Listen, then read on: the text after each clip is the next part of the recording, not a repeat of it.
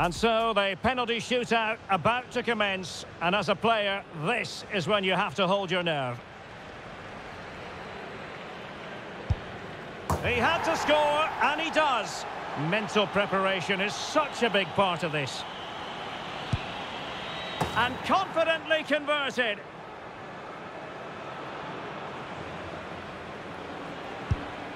Job done from the spot. Can he remain calm? Clinical as always, in front of goal.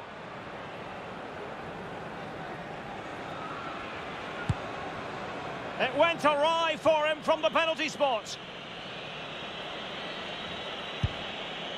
Well, the keeper reacted magnificently. And it's gone in. His turn to try to convert from the spot. And he scores.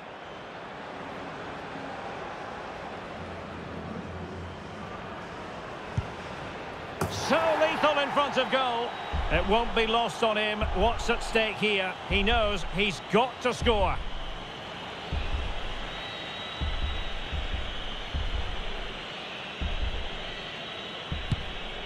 Oh, he's missed it.